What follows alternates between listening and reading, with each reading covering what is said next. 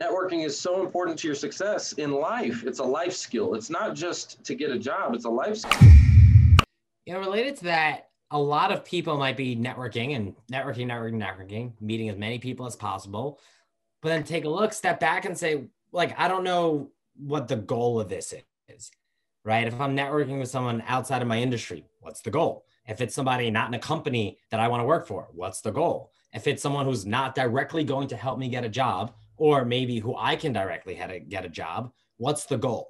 So, how do you, Trevor, think about networking? Should somebody be super general about it, super broad, talk to anyone everyone? Should I set parameters around the kinds of people I want to talk to? How do you think about that? Oh, I love that question. So, first of all, that's a mindset shift. Okay. Um, this thing, we all know it, it changed the world, right? This thing absolutely changed the world. And I would say 15 years ago, yeah, networking was important, but not as important as it is today because, especially with careers in corporate America and the way that the, jobs are going nowadays, like it is absolutely vital to your, you know, your success. Networking is so important to your success in life. It's a life skill. It's not just to get a job, it's a life skill. And so I think that if you have the mindset shift of, you know what, throughout my life, I am going to build, nurture, and add new uh, connections into my life, like throughout my life. Yeah, you may not be at a hundred thousand overnight or or whatever, you know, like it's not going to happen like that. But over a lifetime, you're going to start to build an audience. And anybody know that guy named Joe Rogan? Anybody ever heard of him? Was it like I think he just got like a hundred million dollar deal from Spotify. Spotify yeah. yeah. Right. Um, okay, maybe you don't land a hundred million dollar deal. Like that may not be your goal, but again, over a lifetime, right? Build an audience because anybody can do it. Anybody can do it. You really can. Anybody can do this. You build an audience over a lifetime and right now, guys, I'm going to tell you, you can monetize. You can monetize an audience. Um, you might decide at a certain point, I'll leave corporate America. I don't want to go back. I'm going to do my own thing. I'm going to start my own business.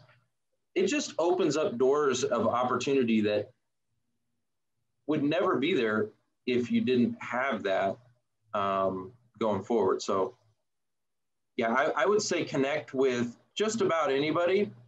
Um, unless you feel like they are a fake profile. And a lot of people are going to disagree with this, right? So, again, take whatever you think applies to you and works for you. In my opinion, I'm going to connect with everybody. And here's why because you never know how um, they can change your life or how you can change their life, right? One of two ways. One of two ways. I'll, I'll give you a perfect example. I was making content, I was doing daily videos, and uh, um, then I stopped for a little season. I stopped making these videos. And I had a lady reach out to me and she said, Why'd you stop? And I said, oh, I got busy, whatever, life, you know, I had whatever excuses I had. She said, Why'd you stop? She said, You don't realize it, but one of your videos like kept me from committing suicide. Right. And this was what I call a window shopper. This person was a window shopper. They never liked, they never commented, they never, they never engaged on any of the content ever. But they were consuming it. I was making an impact in her life, right? And it wasn't until I stopped that she engaged and she was like, Why did you stop? And that's when the light bulb kind of really went on in my in my my mind like how powerful this is and how powerful like we have a responsibility i feel like we have a responsibility. You have a microphone you have a you have a voice like you have a responsibility. And so that's when the light bulb really clicked on. And you know what's funny about that lady? That lady i went back and did some research.